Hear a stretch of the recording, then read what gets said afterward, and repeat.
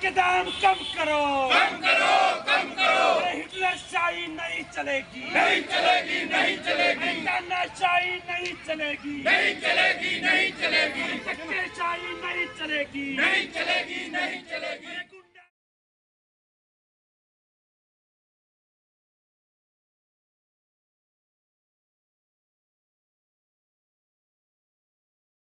हाँ जी। आज देखिए प्रोटेस्ट कांग्रेस पार्टी के द्वारा आज कॉरपोरेशन दफ्तर के बाहर प्रोटेस्ट की जा रही है, जो शहर का हाल हो चुका है, जो बीजेपी सरकार और म्यूनिसिपल कॉरपोरेशन ने जो हाल कर दिया उसके खिलाफ प्रोटेस्ट की जा रही है। चाहे पार्किंग का घोटाला हो सात करोड़ के आसपास का, चाहे आज गैस के दाम हो, चाहे पानी के बिल हों, जो पानी के रेट है वो, जो बढ़ाए गए, वो दोबारा कम होने का नाम नहीं है। इस खिलाफ कांग्रेस पार्टी ने मुहिम चलाई है 2024 के जो चुनाव आ रहे हैं साफ़ साफ़ दिख रहा है कि जो बीजेपी पार्टी है नौ साल से, उसने कोई काम नहीं किया चंडीगढ़ में। किरण खेर एमपी नदारद रही हैं, किरण खेर एमपी शहर से बाहर रही हैं, दिल्ली रही हैं, मुंबई रही हैं। सीधा अटैक उन पर ही किया जा रहा है हमारा कि आपने शहर के लिए किया क्या? एक ही सवाल है। ये मुद्दों पर ये जो आम जन की लड़ाई है, इसमें किरण खेर कहाँ है? क्यों उन्होंने क्यों उन्होंने किसी का साथ नहीं दिया? आज उनसे कोई मिलने जाता है तो वो कहीं मिल नहीं पाती। तो शहर की आवाज़ यही है कि कांग्रेस पार्टी ने ही शहर के लोगों की आवाज़ उठाई है, शहर के मुद्दों की आवाज़ उठाई है और आज हम कॉरपोरेशन दफ्तर के बाहर जो धरना लगा रहे हैं, इसी प्रोटेस्ट को 11 बजे हम कॉरपोरेशन दफ्तर के अंदर कंटिन्यू करेंगे और हमारे मुद्दों के साथ ताकि हम आम लोगों की लड़ाई लड़ सकें। ਤਰੀਕੇ ਨਾਲ ਤੁਸੀਂ ਦੇਖ ਰਹੇ ਹੋ ਕਿ ਰੋਜ਼ ਇੱਕ ਨਵਾਂ ਕਰ ਸਾਡੇ ਉੱਪਰ ਲੱਗ ਰਿਹਾ ਹੈ, ਰੋਜ਼ ਰੇਟ ਵੱਧ ਰਹੇ ਹੈ, ਰੋਜ਼ ਮਹਿੰਗਾਈ ਵੱਧਦੀ ਜਾ ਰਹੀ ਹੈ ਔਰ ਜਿਸ ਤਰੀਕੇ ਨਾਲ ਤੁਸੀਂ ਦੇਖ ਰਹੇ ਹੋ ਕਿ ਸਿਲੰਡਰਸ ਕਾਂਗਰਸ ਦੇ ਟਾਈਮ ਤੇ 410 ਰੁਪਏ ਦਾ ਸੀ, ਔਰ ਅੱਜ ਇਹ 1100 ਪਾਰ ਕਰ ਚੁੱਕਾ ਹੈ। ਤੇ ਉਸੇ ਉਸੇ ਨੂੰ ਚੀਜ਼ਾਂ ਨੂੰ ਲੈ ਕੇ, ਬੇਰੋਜ਼ਗਾਰੀ ਨੂੰ ਲੈ ਕੇ, ਪਾਰਕਿੰਗ ਘੋਟਾਲੇ ਨੂੰ ਲੈ ਕੇ, ਚੰਡੀਗੜ੍ਹ ਲੈਵਲ ਦੇ ਉੱਪਰ ਮੈਂ ਕਹਿਣਾ ਚਾਹੁੰਦੀ ਹਾਂ ਕਿ ਇਹ ਲੜ- ਲੜਾਈ ਜਿਹੜੀ ਹੈਗੀ ਹੈ, ਇਹ ਕੋਈ ਕਾਗਜ਼ੀ ਲੜਾਈ ਨਹੀਂ ਹੋ ਰਹੀ। ਇਹ ਲੜਾਈ ਜਿਹੜੀ ਹੈ, ਸੜਕ ਤੇ ਸਦਨ ਦੀ ਹੋ ਰਹੀ ਹੈ। ਅੱਜ ਅੰਦਰ ਸਦਨ ਚੱਲੇਗਾ ਔਰ ਬਾਹਰ ਕਾਂਗਰਸ ਦੇ ਹਰ ਕਾਰਜਕਰਤਾ ਚੰਡੀਗੜ੍ਹ ਲੋਕਾਂ ਦੀ ਆਵਾਜ਼ ਬਣ ਕੇ ਖੜੀ ਹੋਈ ਹੋਈ ਹੈ। ਕਿਉਂਕਿ ਪਾਣੀ ਦੇ ਰੇਟ ਕਿਸ ਤਰੀਕੇ ਨਾਲ ਵਧਾ ਦਿੱਤੇ ਗਏ ਹੈ।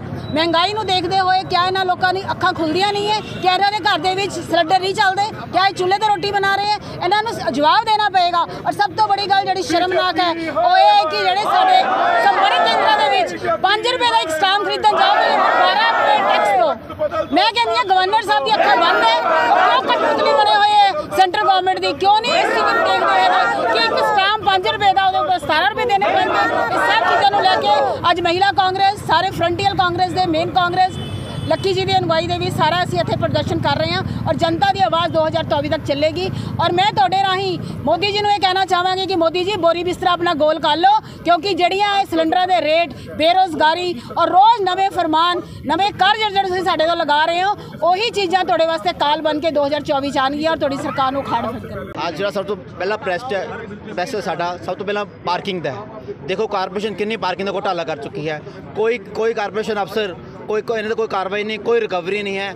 ਅੱਜ ਜਨਤਾ ਨੂੰ ਇੰਨਾ ਝੂਠ ਬੋਲਿਆ ਜਾ ਰਿਹਾ ਹੈ ਕਿਤੇ ਪਾਰਕਿੰਗ ਦਾ ਹੋ ਗਿਆ, ਉਧਰ ਪਾਣੀ ਦੇ ਬਿੱਲ ਹੋ ਗਏ। ਡੇਲੀ ਆਏ ਦਿਨ ਨਵੇਂ ਤੋਂ ਨਵੇਂ ਟੈਕਸ ਲਗਾ ਰਹੇ ਹੈ। ਕਦੇ ਪਾਣੀ ਦੇ ਲਗਾ ਦੇ, ਕਦੇ ਸਿਲੰਡਰ ਵਧਾਤੇ ਕਦੇ ਪਾਰਕਿੰਗ ਦਾ ਘੁਟਾਲਾ ਹੋ ਗਿਆ। ਆਮ ਬੰਦਾ ਤਰਾਹੀ ਤਰਾਹੀ ਹੋ ਰਿਹਾ ਹੈ। ਆਮ ਬੰਦਾ ਕਿੱਥੇ ਜਾਏ?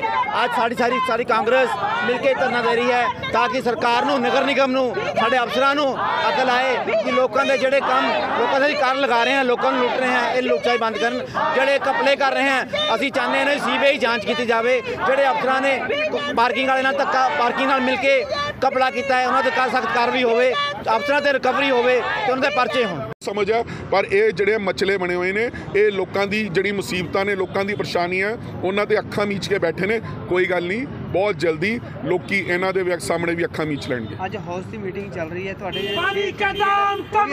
ਸਾਡੇ ਸਾਰੇ 6 ਦੇ 6 ਕਾਉਂਸਲਰ ਪੂਰੇ ਜ਼ੋਰ ਨਾਲ ਪੂਰਾ ਵਿਰੋਧ ਕਰਨਗੇ ਅੰਦਰ ਕਾਰਪੋਰੇਸ਼ਨ ਦੇ ਅੰਦਰ। ਅੱਜ ਦਾ ਜਿਹੜਾ ਸਾਡਾ ਪ੍ਰੋਟੈਸਟ ਹੈ ਇਹ ਚੰਡੀਗੜ੍ਹ ਦੀ ਮਿਊਨਿਸਪਲ ਕਾਰਪੋਰੇਸ਼ਨ ਦੇ ਬਾਹਰ ਕੀਤਾ ਜਾ ਰਿਹਾ ਔਰ ਕਈ ਮੁੱਦਿਆਂ ਦੇ ਉੱਪਰ ਇਹ ਪ੍ਰੋਟੈਸਟ ਕਰ ਰਹੇ ਹੈ। ਔਰ ਸਭ ਤੋਂ ਵੱਡਾ ਮੁੱਦਾ ਹੈ ਜਿਹੜਾ ਪਾਣੀ ਦੇ ਰੇਟ ਇਹਨਾਂ ਨੇ ਹਰ ਸਾਲ 5% ਬਣਾਉਣ ਦੀ ਗੱਲ ਕੀਤੀ ਔਰ ਬੜਾ ਵੀ ਦਿੱਤੇ ਨੇ। ਪਹਿਲਾਂ ਵੀ ਪਾਣੀ ਦੇ ਰੇਟ ਬਹੁਤ ਵਧਾ ਦਿੱਤੇ ਗਏ ਸੀ ਇਲੈਕਸ਼ਨ ਆਏ, ਉਸ ਟਾਈਮ ਕਹਿਤਾ, ਨਹੀਂ ਜੀ, ਵਾਪਸ ਲੈ ਲਾਂਗੇ। ਜਿੱਦਾਂ ਹੀ ਇਲੈਕਸ਼ਨ ਖਤਮ ਹੋਏ ਬੀਜੇਪੀ ਨੇ ਜਿੱਦਾਂ ਉਹਨਾਂ ਦਾ ਚਿਹਰਾ, ਚਾਲ, ਚਰਿੱਤਰ ਹੈ ਫਟਾਫਟ ਉਹ ਰੇਟ ਵਧਾਤੇ ਔਰ ਉਸ ਤੋਂ ਬਾਅਦ 5% ਹੁਣ ਫੇਰ ਵਧਾਤੇ। ਬਿਜਲੀ ਦੇ ਰੇਟ ਵਧਾਉਣ ਦੀ ਤਿਆਰੀ ਹੈ। ਤੁਸੀਂ ਪਾਰਕਿੰਗ ਘੁਟਾਲਾ ਦੇਖ ਲਓ, ਐਡਾ ਵੱਡਾ ਇਹਨਾਂ ਨੇ 7 ਕਰੋੜ ਰੁਪਇਆ ਇਸ ਸ਼ਹਿਰ ਦੀ ਜਨਤਾ ਦਾ ਪੈਸਾ ਜਿਹੜਾ ਉਹ ਖੋਲਿਆ ਗਿਆ। ਔਰ ਇਸ ਤੋਂ ਇਲਾਵਾ ਬਹੁਤ ਇਹੋ ਜਿਹੇ ਮੁੱਦੇ ਨੇ ਜਿਹੜੇ ਸੈਂਟਰ ਲੈਵਲ ਦੇ ਨੇ। ਗੈਸ ਦੇ ਰੇਟ ਵੱਧ ਗਏ, ਦੁੱਧ ਦੇ ਰੇਟ ਵੱਧ ਗਏ, ਮਹਿੰਗਾਈ ਵੱਧ ਗਈ ਪੈਟਰੋਲ ਡੀਜ਼ਲ ਮਹਿੰਗਾ ਲੋਕਾਂ ਦਾ ਜੀਣਾ ਮੁਸ਼ਕਲ ਹੋਇਆ ਹੋਇਆ।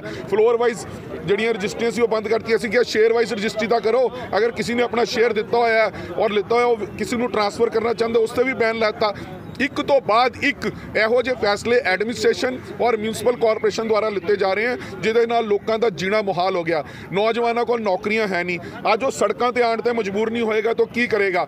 ਅੱਜ ਇਸੇ ਕਰਕੇ ਚੰਡੀਗੜ੍ਹ ਕਾਂਗਰਸ ਨੇ ਲੋਕਾਂ ਦੀ ਆਵਾਜ਼ ਨੂੰ ਚੱਕਦੇ ਹੋਏ ਡਿਫਰੈਂਟ ਮੁੱਦੇ, ਚਾਹੇ ਉਹ ਲੋਕਲ ਲੈਵਲ ਦੇ ਨੇ, ਚਾਹੇ ਉਹ ਕਾਰਪੋਰੇਸ਼ਨ ਲੈਵਲ ਦੇ ਨੇ, ਐਡਮਿਨਿਸਟ੍ਰੇਸ਼ਨ ਲੈਵਲ ਦੇ ਨੇ ਜਾਂ ਨੈਸ਼ਨਲ ਲੈਵਲ ਦੇ। ਉਹਨਾਂ ਸਾਰਿਆਂ ਮੁੱਦਿਆਂ ਦੇ ਉੱਪਰ ਅੱਜ ਅਸੀਂ ਇਕੱਠੇ ਹੋ ਕੇ ਇੱਕ ਪ੍ਰੋਟੈਸਟ, ਇੱਕ ਗੁੰਗੀ ਬਹਿਰੀ ਜਿਹੜੀ ਮਿਊਨਿਸਪਲ ਕਾਰਪੋਰੇਸ਼ਨ ਹੈ, ਚੰਡੀਗੜ੍ਹ ਐਡਮਿਨਿਸਟ੍ਰੇਸ਼ਨ ਹੈ ਮੋਦੀ ਸਰਕਾਰ ਹੈ, ਉਹਦੇ ਖਿਲਾਫ ਇੱਥੇ ਇਕੱਠੇ ਹੋਏ ਆ ਔਰ ਤਦ ਤੱਕ ਸੰਘਰਸ਼ ਕਰਦੇ ਰਵਾਂਗੇ, ਜਦ ਤੱਕ ਕੋਈ ਨਤੀਜਾ ਨਹੀਂ ਮਿਲ ਜਾਂਦਾ। ਲੋਕ 2024 ਆ ਰਿਹਾ, ਇਹਨਾਂ ਨੂੰ ਬਹੁਤ ਜਲਦੀ ਸਬਕ ਸਿਖਾ ਦੇਣਗੇ, ਇਹਨਾਂ ਨੂੰ ਦਿਖਾ ਦੇਣਗੇ ਕਿ ਲੋਕਾਂ ਦੇ ਹਿੱਤ ਦੇ ਖਿਲਾਫ ਫੈਸਲੇ ਲੈਣ ਨਾਲ ਲੋਕ ਜਿਹੜੇ ਹੈ, ਇਹੋ ਜੀ ਸਰਕਾਰਾਂ ਨੂੰ ਖਾੜ ਦਿੰਦੇ ਨੇ, ਇਹੋ ਜੀ ਕਾਰਪੋਰੇਸ਼ਨਾਂ, ਇਹੋ ਜੀ ਐਡਮਿਨਿਸਟ੍ਰੇਸ਼ਨਾਂ, ਇਹੋ ਜਿਹੀਆਂ ਸਰਕਾਰਾਂ ਲੋਕਾਂ ਦੇ ਅੱਗੇ ਨਹੀਂ ਟਿਕਣੀ, ਇਹੀ ਮੈਂ ਕਹਿਣਾ ਚਾਹੁੰਦਾ।